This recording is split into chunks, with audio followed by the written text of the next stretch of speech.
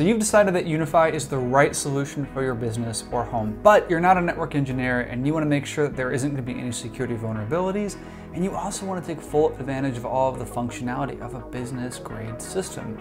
Well, this is the video for you. We're going to talk about everything from basic terminology all the way to more advanced features like VLANs and IPS and show you how to set everything up to best practice just the way we would do it if you were to hire us as a consultant.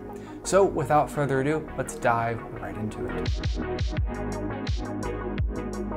Now, should you require more hands-on support, not only can we help you spec out your system and deploy it, we can also manage and support your entire UniFi ecosystem. Pricing for this is down in the video description.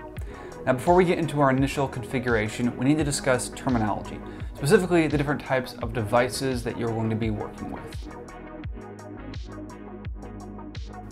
Now, if you've been shopping for UniFi equipment, you've probably seen things like gateways, consoles, switches, access points, and you may not be exactly sure what you need. And frankly, it can be confusing because very often one piece of hardware can serve multiple functions. Well, let's break it down. A gateway is a device that sits at the edge of your network. It connects your local area network to the broader internet. And very often a gateway can have other functions. It could be a wireless access point, it can also be a switch, it could be a modem, and in most cases with UniFi, it's gonna be a console, but we'll break those other terms down next. The next term is switch. A switch is a device that lets us plug in various devices, whether it be printers, phones, computers, cameras, other networking equipment such as switches, gateways, wireless access points, door access control systems, IoT devices. You get the idea. If it uses an RJ45 or an Ethernet cable and it plugs into that device, well, that device is a switch. And most of the UniFi gateways are also switches. Actually, most gateways are also switches. But when we say switch in the networking world, we're typically referring to a standalone device that is strictly a switch. Now the term wireless access point should be pretty simple. That is a wireless radio that broadcasts Wi-Fi. And in general, just like with switching in the networking world, when we say Wi-Fi access point, we generally are referring to a standalone device that sole purpose is to broadcast Wi-Fi, not a device that has a number of different functionality. Now the last term we're going to cover that's somewhat unique to Ubiquiti is console. Now what is a console? Well, you don't actually need a console to configure your network. That's true. You can remote into every single networking device via SSH and configure it, but that's not exactly very intuitive. Although it is what we do in larger networks, and it's what we used to do for all networks years ago. And this is what makes UniFi really UniFi, and that's the ease of configuration via a console. Now, in most cases, your gateway is going to be your console, such as the Dream Machine Pro, the Dream Machine Pro SE, the Dream Router, the UniFi Express. All of these are examples of gateways that are consoles as well. Now, there are a couple different types of firewalls from Ubiquiti, or gateways rather, that are not going to include a console built into them. This includes the Gateway Lite, the Gateway Pro, and any of the older USG models. You will need a standalone console to administer these networks easily. A good example of a standalone console is this. This is a CloudKey Gen 2 Plus, and in addition to helping you administer the network via the network application, you can also run Protect, Talk, Access, Connect, and any other apps Ubiquiti may come out with in the future. Now, if you're planning on deploying a network that's going to have hundreds or thousands of UniFi devices, this guy is not going to cut it. You're going to want to take a look at the CloudKey Enterprise. Finally, you can also deploy the network control software via Windows or Mac OS or even on a Linux server. But in general, I don't recommend this approach because it requires more maintenance and there's nothing like the feeling of knowing that you're gonna have to reconfigure your entire network from the ground up because you forgot to do a backup and your computer had some sort of malfunction. In general, UniFi consoles are going to be far more reliable for administering your network than anything you're going to self-host. As with most things in life, our journey begins with a gateway. In this case, the Dream Machine Pro. Now we're going to want to plug our internet into the WAN port on the UDM, but before we do that, we're going to want to remove any other networking equipment. After all, we want this to be the gateway of our network. Now, in most cases, you may need to go into your modem and set it to bridge mode. This is going to ensure that your modem is not also functioning as a gateway.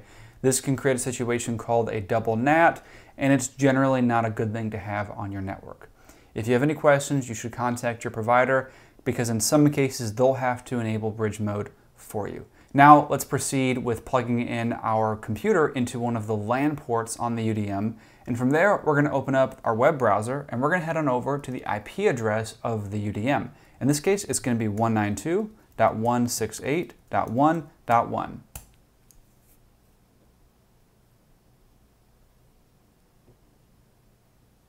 Now we can name our device. I think this would be a great deployment for a coffee shop, so let's go with something cool.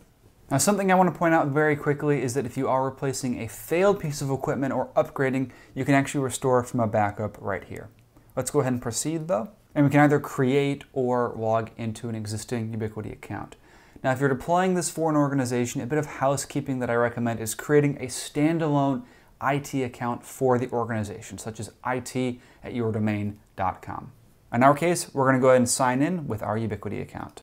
Now because I've signed in with my Ubiquiti account, it's giving me the option to restore from a backup from one of my other consoles. Because we're going to set this up as a brand new site, we're going to go ahead and click Continue Without Backup. At this point, I recommend you go get a cup of coffee as setting up UniFi OS and updating the console can take up to 20 minutes. Setup is complete. Now we can go ahead and log in. Normally, if you see this alert on the internet, you should steer clear, but it's just telling us that the certificate used to encrypt our traffic between our computer and the console is self-signed, and it hasn't been verified by a third party. But in this case, we know that the UDM Pro is trustworthy, so let's go ahead and proceed anyway. Now we're going to log in with our Ubiquiti account, the same account we used earlier. Awesome, now that we're logged into UniFi OS, we can actually start plugging devices directly into the Ethernet ports on the UDM and start using the internet. This is something that kind of separates UniFi from other vendors out there, and that's that you could basically plug in a switch and start using it immediately without any configuration.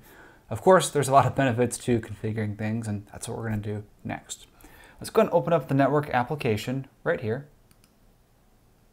And then we're going to head on over to devices. You can see right here, we have our UDM Pro. Let's go ahead and plug it in our 24 port PoE switch. Awesome, there's our 24 port switch. I'm gonna go ahead and click this button to adopt it. And while that's happening, I'm gonna get our access point ready. In this case, we are gonna be utilizing the U7 Pro. This is an awesome access point for a number of reasons. A big one is that in addition to the 2.4 and 5 gigahertz bands, this uses 6 gigahertz, so it's definitely gonna future-proof our network in terms of performance. Looks like our switch has finished adopting. Now we just need to wait for our access point to finish booting so we can adopt it. If you're not planning on using more than eight ports, by the way, you're better off getting the UDM Pro SE rather than a standalone switch since you could plug your access point directly into the Ethernet ports on the UDM itself. And there's our access point. I'm gonna go ahead and adopt it. If you're worried about running out of space on your switch, one tip is to use a direct attached copper cable like this one. These are great because you can use the SFP ports on your equipment, and if your equipment is SFP Plus equipped, you can get faster speeds at 10 gigabits per second. These generally cost about $20 on Amazon, and they come in different colors and lengths. I have ones we use linked down in the description below with all the color options. But it looks like our U7 access point has been adopted. So now we're gonna move on to our next chapter, and that is going to be virtual networks. In order to understand how amazing virtual local area networks are, or VLANs, we first need to understand what we did before we had VLANs. Back in the long ago, in the era of 2005, 2006, if you wanted to have a separate network for your guest or a separate network for your servers, you had to physically deploy separate equipment and isolate it physically. Virtual networks and virtual local area networks specifically is a technology that allows us to do this, well, virtually. And that's what we're going to configure. Now, since we aren't limited by the cost of physical equipment, we can have as many as we want. And depending on your use case, you may have more or less than what I'm going to configure. Here's what we're going to set up, and this is the scheme that we do for most of our clients. We're going to set up a core network. The core network is specifically and only for networking equipment. It's the, what the UDM itself is going to sit on, the access point, the switch, and any other servers we may get in the future. The second network we're going to configure is a staff network or a people network. This is going to be for our employees at our pretend coffee shop. The next network we're going to configure, and it's an optional one, and that is a VoIP network. Now separating your VoIP traffic is good for a number of reasons, but sometimes we may not want to do it, especially if we are doing pass-through on our phones. A lot of VoIP phones, you know, they will plug into the wall and the computer will plug into the VoIP phone. And if we're using soft phones, then we're not going to worry about it, but we're going to configure it for the purposes of this guide. The next network that we're going to configure is going to be a security network. This will be for our security cameras, our door access control system, and anything that's related to building security. Then we'll configure an IoT network. This will be specifically optimized for IoT devices. And a big reason of segregating this traffic is we don't always trust all of our IoT devices, and many of them have been known to scan our network and send that telemetry back to the company that made the product. And that company could be in China, so we're going to separate that traffic. Now, the last network we're going to configure is the guest network. But as I said earlier, your network is going to look different than this one, or it might look the same. We've done a lot of deployments where we've had less VLANs or more VLANs, depending on your use case. So let's begin with configuring the core network.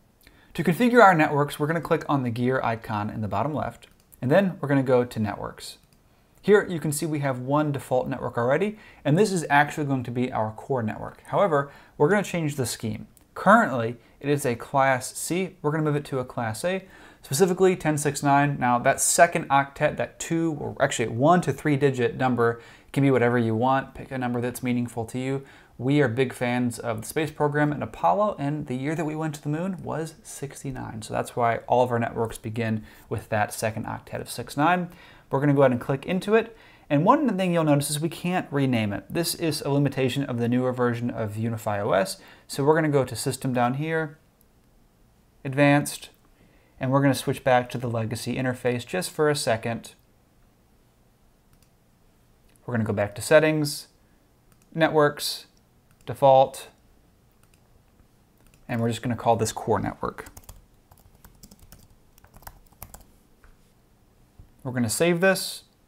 We're going to go back to user interface, and we're going to switch back to the new user interface. Now we're going to go back to the gear, networks, and we can see this network has been named Core Network. Now, we're going to change the IP scheme. And something to note here, whenever we change an IP scheme of a network, all of the devices on that network may not automatically request a new IP address because they're still going to remember the lease that they had before we change the IP address. The easiest way to fix this is either to power cycle those devices or unplug them and plug them back in. Let's go ahead and change this from an automatic scale network, and we're going to do that 10 .69.1.1, and we're going to do a slash 24. For all of our networks, we're actually going to do a slash 24. And this is going to allow us to have in the neighborhood of 200 devices. If you're going to have more than that, then you want to do a bigger subnet, which is actually a lower number. Let's go ahead and scroll down here and talk about these options. Now, content filtering is pretty cool, but here it is very aggressive. And if we hover over work, you can see that YouTube is set to safe mode. Google is set to safe mode, which Google being in safe mode is fine. Uh, however, YouTube can be pretty aggressive and family is even more aggressive. So we're going to leave that alone, but we are still going to do DNS filtering. Specifically, we're going to use Cloudflare's porn and malware blocker. Now this is a great solution because it blocks those types of content, but it's also not overly aggressive. And we can have more aggressive forms of filtering if we want to, and I'll show you how to do that later on. Next, we're going to change our DHCP range. Because this is the core network, we're going to be setting static IPs for all of our equipment. So I like to start this at 100, and that way I have the first 100 addresses for routing and switching equipment. And then for the back end, I'm going to stop it at 199 because I like to use 200 and above for my access points. Next, we're going to go ahead and click on Show More Options. And then we're going to change DNS from auto, and we're going to manually enter our DNS servers. Now don't add any other DNS servers here because if you do, you will disable the filtering. We're not going to change the lease time, but we are going to enter in a domain name. We don't actually have to since we're not on a Windows AD network, but we're going to do it for fun. All right, that's great. And by the way, the .local TLD is reserved for local network use. So you can set anything you want to be .local, and that will work locally on your network. And if we head back over to UniFi devices, you can see that our UDM Pro is getting ready, and that means it is provisioning. However, if I hit refresh here, nothing's happening. It's not refreshing. And the reason for that is the IP address of our UDM has changed. It is now no longer 192.168.1.1. It is instead 10.69.1.1. And I actually probably won't be able to go to it because my computer still has an address in that class C, that 192 address. So does the access point and the switch. The easiest way to fix this is just to unplug these devices and plug them back in because then they will request a new DHCP lease. Let's start with my computer. Awesome. Now let's head over to that new address. And we will need to re-authenticate because we are in a new session. Now we're going to click on network again. We'll go to UniFi devices and you can see here our switch is getting ready and our access point is still offline because I power cycled it. Looks like everything's readapted with the new IP address in our Class A, but since we're on the topic of the core network, let's go ahead and assign static IPs to these other devices. We'll start with the switch. I'm gonna go to settings, and then we're gonna change IP settings from DHCP to static. Now, if you mess this up, you will actually lock yourself out of the switch, but don't worry, you can actually just reset your switch with a paperclip, and then it will pull up again with a DHCP address, and you can try again. And if you do that, don't feel bad. I've done it a number of times. For the IP address, we're going to do 10.69.1.2. For the DNS, we're going to use the same thing that we used before. Now, since our network is a slash 24, our subnet mask is going to be 255.255.255.0. And then our gateway is the IP address of our gateway, which is 10.69.1.1. Now I always recommend giving this a read over just to make sure we enter in everything correctly. But let's go ahead and apply these changes and we'll move on to our access point. We're going to click on settings and then we're going to scroll down and we're going to change IP settings to static. Same thing, except this time we're going to use the address 200 for the fourth octet because I like to put the access points on the tail end of the scheme. As I said earlier, I recommend giving this a read over to confirm everything, but let's go ahead and apply changes. Awesome, looks like that did take successfully. Now we can move on to creating our other networks. Next is the staff network. We're gonna go to the settings icon, networks, and we're gonna create a new virtual network. We're gonna call this staff network. We are going to disable auto scale and we're going to type in our scheme 10.69.2.1. This will also be a slash 24 and we're going to change advanced to manual. Now something we see here that was not present on our core network and that is a VLAN ID. You see the core network isn't a VLAN, it's just a regular LAN. And this being a VLAN, it needs a VLAN ID. This really is only going to be useful if you are connecting Ubiquiti gear to other non-UniFi gear, which you can do by the way.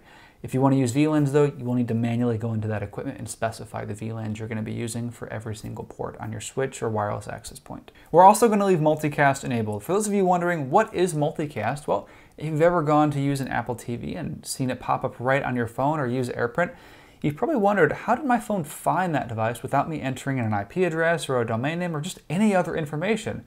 And the answer is multicast, more specifically Bonjour. But Bonjour is a multicast protocol. Basically, the Apple TV or AirPrint printer just says, hey everybody, I'm here. Hey everybody, I'm here.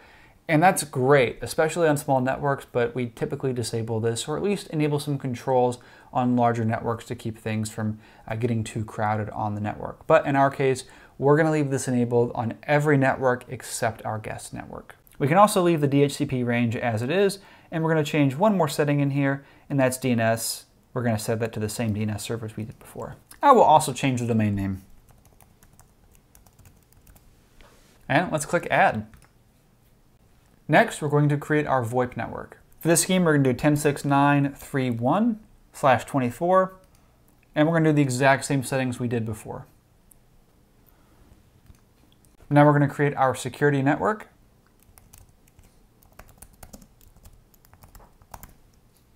This will be 10.69.4.1 slash 24, and we're going to use the same settings. Next, we're going to make our IoT or our building network.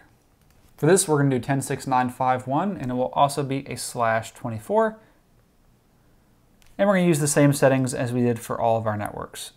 Finally, we're going to create our guest network, and the settings here are going to be very similar with one exception. We do 10.69.6.1. Just like before, we're going to change this to manual, VLAN ID of 6, that's fine, and we are going to enable network isolation. This is just one of the layers of security we're going to apply to keep our guest traffic separate from all of our other networks. We're also going to disable multicast. And the DHCP range is fine to be left alone. Finally, we're going to go down under Show More, and we are going to change the DNS settings and manually add those same DNS servers we added earlier. It's not required, but you can also add a .local domain to the network. That looks good. Let's go ahead and click Add. And there are our VLANs. We have a core network, a staff network, VoIP, security, IoT, and a guest network. But we're not done with the network configuration. We're also going to go ahead and disable IPv6. Now the savvy among you probably have noticed that with the exception of the guest network, I didn't create any additional firewall rules. So this means that technically a device on the IoT network could talk to a device on the staff network. So are we going to create these rules? Well, the answer is no. You see, we're already doing more than most organizations do by separating our traffic into VLANs, and a device on one network would need to know the IP address of that device on the other network in order to communicate. Even in that case, that traffic is going to go over our gateway, so it is going to be sniffed by intrusion prevention, and we're going to set that up later. Now, you absolutely can go and configure these rules, and it is best practice, but for the purposes of a beginner tutorial, I don't recommend setting up those rules, especially if you are a beginner. Now we're going to go ahead and head on over to our UniFi Devices section, and we are going to set up the ports on this switch for the appropriate network. So we're going to click on our switch here, and we're going to go into Port Manager. All right, I've got everything selected. Now I'm just going to go ahead and click on Core Network, and we're going to change this to Staff Network. Now, I don't have anything plugged into these ports, but should I plug in, for example, my computer, into one of them, we're going to get an IP address that looks like this. And you can see by that third octet, the 2, we are on the staff network. Now that we have set up all of our virtual networks and configured our network switch, we're going to move on to the next chapter, Wi-Fi. To get to the Wi-Fi settings, we're going to go ahead and click on the gear icon here, and then we're going to go to Wi-Fi. Here we're going to create our staff network, and I'm going to call it Florida Coffee Staff and we're going to need to choose a password. I recommend anything longer than 12 characters. Because this is a Wi-Fi network password, I'm going to use a passphrase as opposed to a password, which is easier to remember and type in. This next section right here is very important, and it's where we're going to choose what virtual network our Wi-Fi network is going to use. In this case, we're going to go ahead and choose that staff network. The next setting here, we're going to choose which access points we want to broadcast this network on. This is great if you have certain Wi-Fi networks that you only want to be broadcasted in certain parts of your facility. In our case, we only have one AP, which is why we have the only option there. Under Advanced, we're going to switch it to Manual.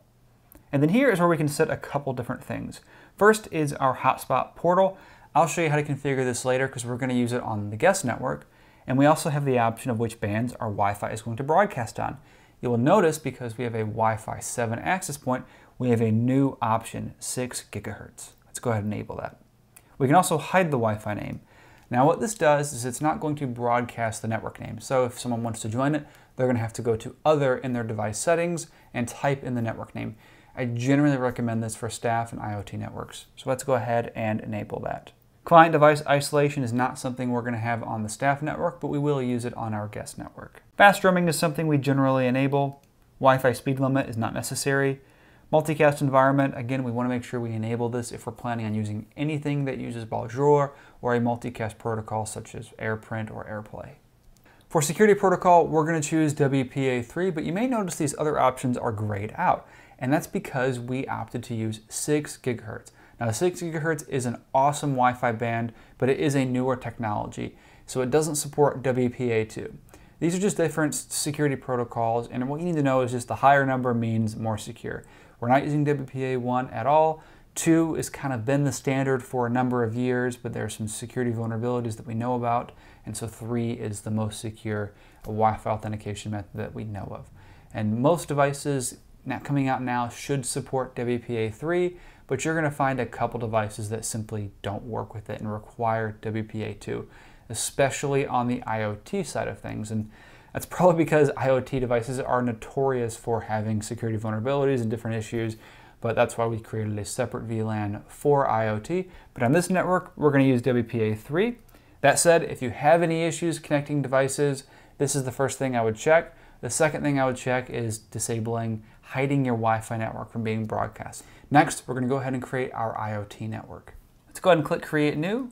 For the name, I'm just going to call it IoT. Remember, we're going to be typing this in on devices that may not have great keyboards like thermostats or other devices, so we want to keep things as short as we can. For a password, we're going to choose a 12 character passcode that doesn't use symbols as some IoT devices actually have issues with symbols, which is weird, but it happens. Now for the network, we're of course going to choose IoT. We're going to change to advanced. And here, this might vary depending on your use case. Some IoT devices don't work well if there's a 5 gigahertz Wi-Fi band being broadcasted, so we can disable that and strictly have it be a 2 gigahertz band. I also like to hide these networks since they're kind of service-based networks. I don't want people to see them. And then if we scroll down to the bottom here, we're going to choose WPA2 for the network. And we definitely want to make sure that we enable multicast on this network. One option you can configure on this network is client device isolation. If your IoT devices only need to talk to the internet and not to each other, tick this box. Now we'll add that network as well. Lastly, we're going to go ahead and create our guest network and then we're going to set up the captive portal for it. For this, I'm just going to call it Florida Coffee. Now, for guest networks, I like to keep this clean and simple. Remember, both the staff and IoT networks are hidden, so this is the only network our guests are going to see. Now, if you're planning on using a captive portal, we don't want to put a password in here, as that means users are going to have to enter a password in twice. Once when they click on the network, and then again when they are prompted to enter the password in the captive portal. If you are not planning on running a captive portal and you want to keep your guest network password protected, then you should enter a password here. Of course, we need to switch our network to guest, and then we're going to toggle on advanced settings. If we want to use a captive portal, we'll enable hotspot portal.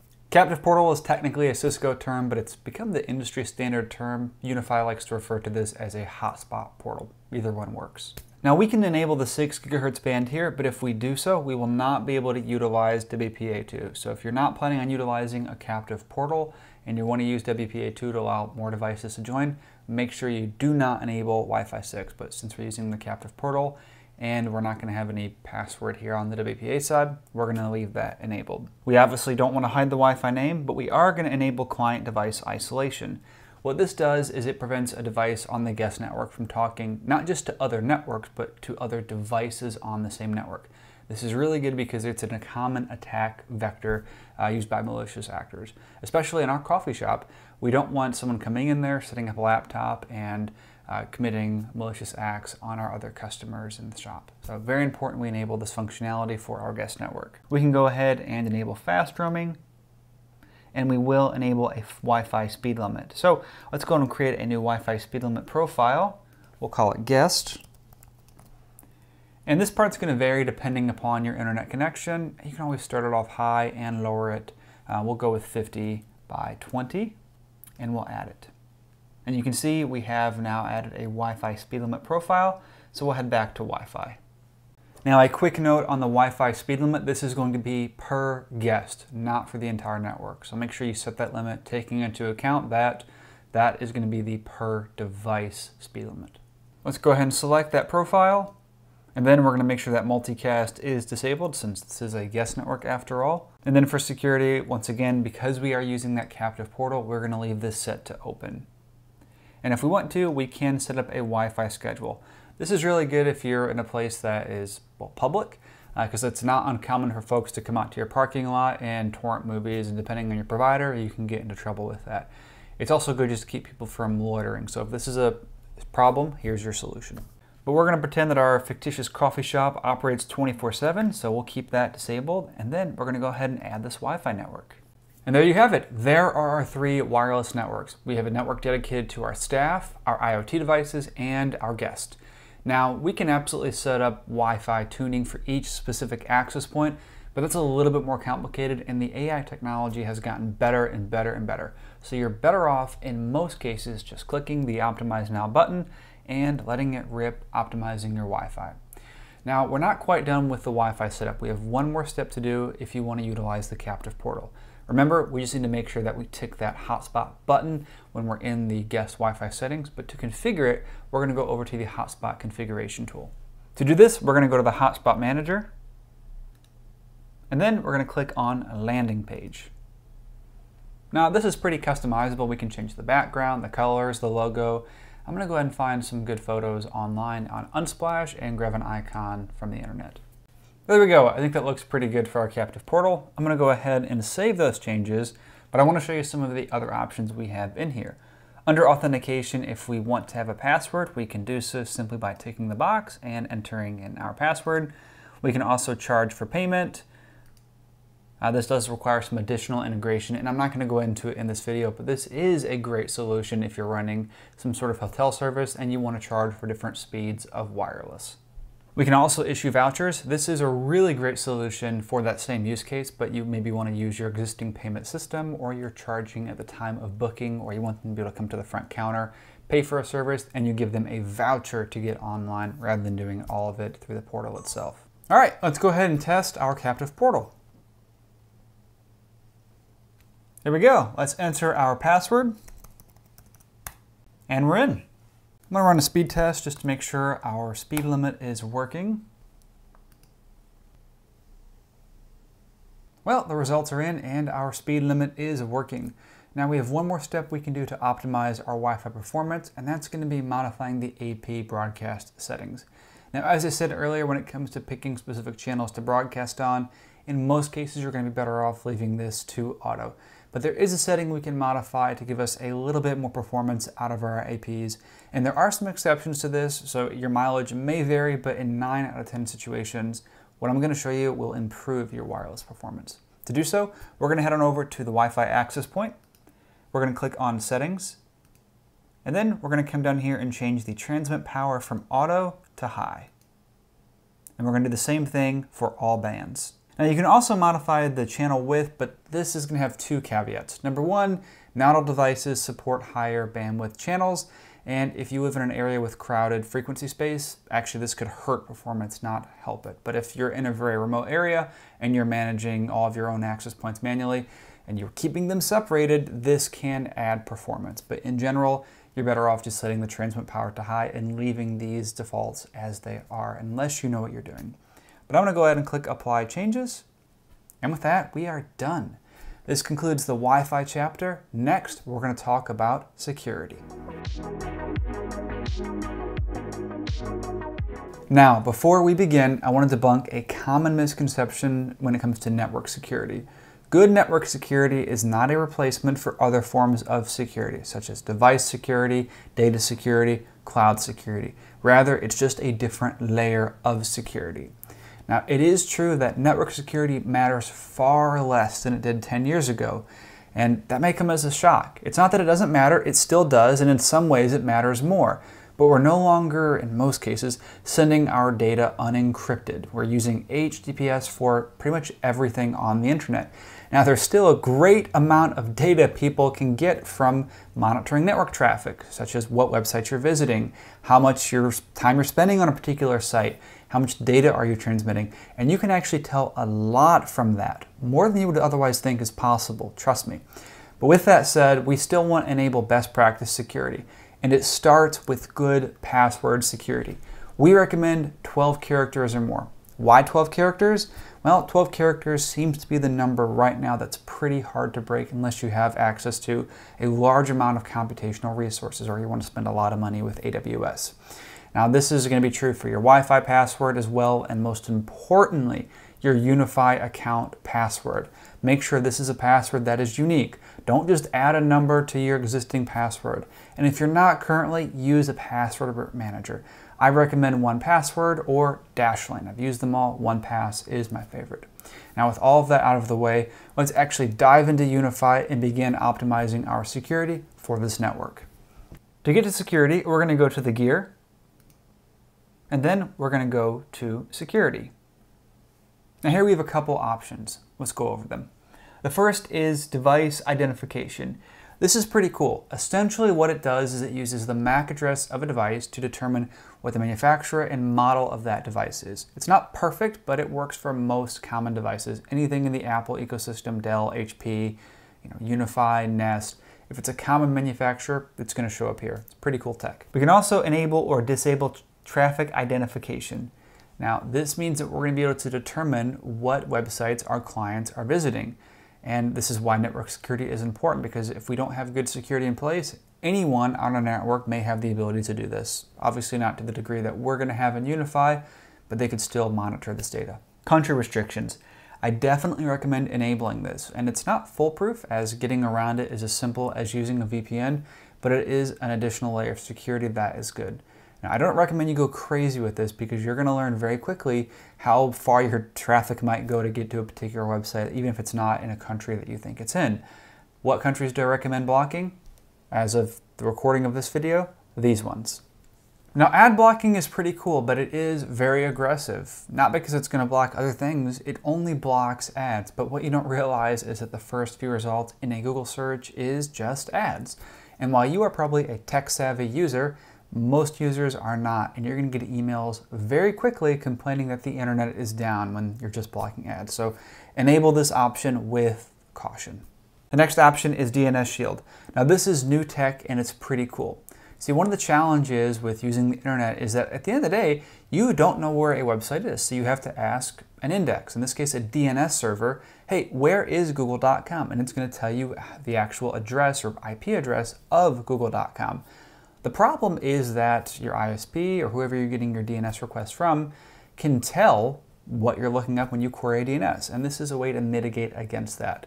Now you are kind of moving the problem to the provider, so hopefully you trust the DNS provider that you're using, but this is an additional layer of security that's pretty cool if you want to play with it. We're starting to enable them on some deployments, but it is a new tech, so again, be cautious. Now let's talk about honeypotting. The internal honeypot is a feature that will let us essentially set a trap for the bad guys. So if you want, you can set one up on your various networks and if any malicious computers try to I don't take advantage of the honeypot, we'll get a notification. I actually have not seen this used in the wild, but we generally try to secure our networks so it doesn't surprise me that we haven't seen this be triggered. Now, under suspicious activity, this is what we call IPS or IDS, and it stands for Intrusion Detection System and Intrusion Prevention System. What's the difference? Well, IDS is simply going to detect and notify us of a potential intrusion, whereas IPS will take action. Now, in most networks that we're running, such as pfSense or Palo Alto, we're typically running IDS. But the UniFi IPS is actually good enough that we just run IPS, as I've actually never seen it give a false flag, at least not in the last year or two. So we're going to enable this and tick all of the options. We're also going to apply this to all of our networks, although we don't have to if we wanted to apply it to one specific network. We're going to set this to notify and block. This would be IPS versus IDS, and then we're going to set it to high. Of course, we can go in here and customize the categories if we want to, but since we're running a UDM Pro, we have more than enough horsepower in order to filter for all of these options. We also are going to go ahead and block the dark web and block known malicious IPs. This is a good additional layer of security in addition to our Cloudflare filtering that we're doing through DNS we set up earlier in the virtual networks chapter. This is going to utilize UniFi's custom list of known malicious IPs. Now I want to say something real quick. I think they have done a great job of giving us ready to go out of the box solutions, especially for smaller networks because we need to remember we're not going to have full-time IT administrators in most cases administering these small networks. And so having a set of tools that we can just turn on and know are not going to give us false positives is really good. And it's why we turn most of this on, actually all of this on with few exceptions for all of our deployments. Now let's go ahead and apply our changes and provision this. But this is going to conclude our security chapter. Next, we're going to tackle VPNs. This chapter is optional, but if you want to take advantage of the VPN functionality within UniFi, we're going to cover the different types of VPNs that we can configure, and I'm going to show you how to configure two of them. Now, I want to debunk a myth about using a VPN, and that's that using a VPN just makes you more secure. And while it can, the reality is when we use a VPN, we're just moving the burden of information from one provider to another provider. And to be honest with you, I wouldn't trust any US based VPN company. I would use something like Proton VPN or Mullvad VPN. Now, what are the types of VPNs in UniFi? Well, the first type is going to be a VPN server. This is us configuring our UniFi gateway as a VPN server. So if I have a device like an iPhone or a MacBook and I'm traveling abroad, whether in the US or even internationally, I can tunnel back into my network and access resources, be it servers, or just make the internet think that I'm still in my office at home. Now we can configure these with a couple different flavors of protocols and I'll show you that in a second. The second type is going to be a VPN client. This is where our UniFi gateway is acting as the client and it is connecting out to another VPN service. Now we actually have a video on this where we use Mullvad VPN to make our entire network appear as though it was in New Zealand. Now there is a pretty cool use case for this. A lot of social media, whether it be TikTok or Meta, just is not secure and they are doing a lot of data collecting.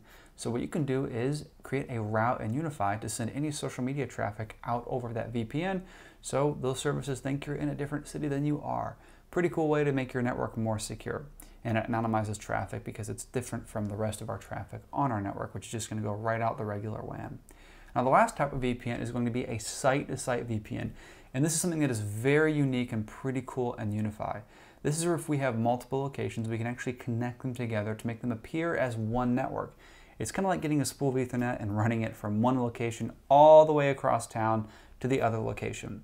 So if we have a server, be it a Synology server that's running an SMB file share, well, folks at the other location can access those resources just as if they were on the actual physical network.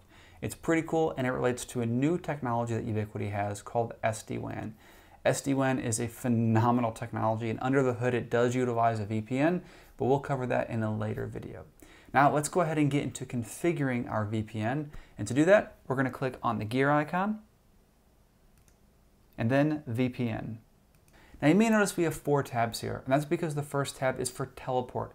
This is UniFi's custom flavor of VPN. And what it allows us to do is give folks access to our network via a VPN just by sharing a link. They just need to install the WiFiman app. Now what's pretty cool about this is we can actually use it for remote deployments of UniFi Talk phones. So if you want to give someone a UniFi Talk phone for their home office, well, they can actually connect back to your network using Teleport. It's pretty cool. But we're going to talk more about the VPN server because for most of you that are configuring VPNs, this is probably what you're going to be using. And the other two types we can cover in different videos. Now, when we talk about configuring our UDM Pro to be a VPN server, one of the most common questions we get is which VPN protocol should I use? WireGuard, OpenVPN, or L2TP? And the answer is it depends. Now, in our view, WireGuard is simply the best, fastest, and lowest latency VPN protocol, and our testing shows that.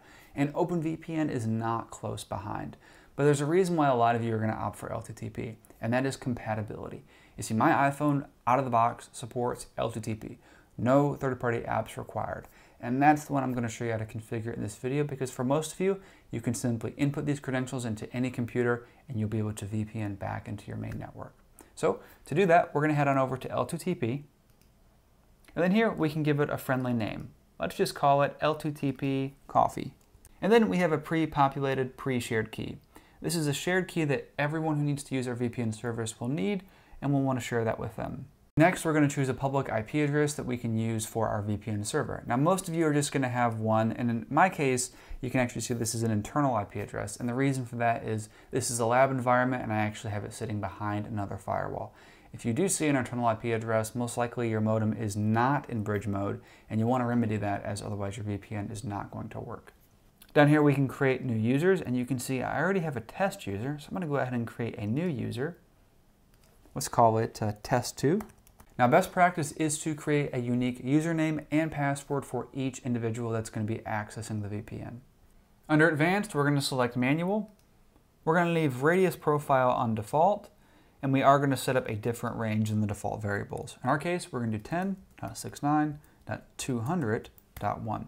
Now, as you may have noticed, this is outside the range of any of our existing VLANs, and this is done intentionally. It's best practice to have our VLAN network be separate than the rest of our traffic. And if we know the IP of other devices, we can still talk them, precluding any firewall rules that would block that.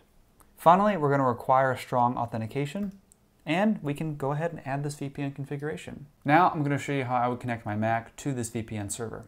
First, we're going to go to System Settings, Then we're going to go to VPN. We're going to click Add VPN Configuration and choose L2TP. Now we just need to fill in the details. The first thing we can do is give it a friendly name. For configuration, we're going to leave this at default, and then we're going to need to enter our server address. This is going to be this server address found right here. Then for our account name, we're going to enter our username. In this case, we're going to do test2. User authentication is going to be password, and we're going to enter in our password. Which is going to be right here. Machine authentication is going to be our shared secret, and we can copy that right from here. And that's it. We just need to click create, and then to connect, we're going to toggle right here. That's it. You just configured a VPN server, and because you're using your hardware and your internet connection, there are zero monthly fees to keep this going. And we covered a lot of ground in today's video, and that's because you guys requested a comprehensive beginner's guide to configure UniFi. So we've made this video for you.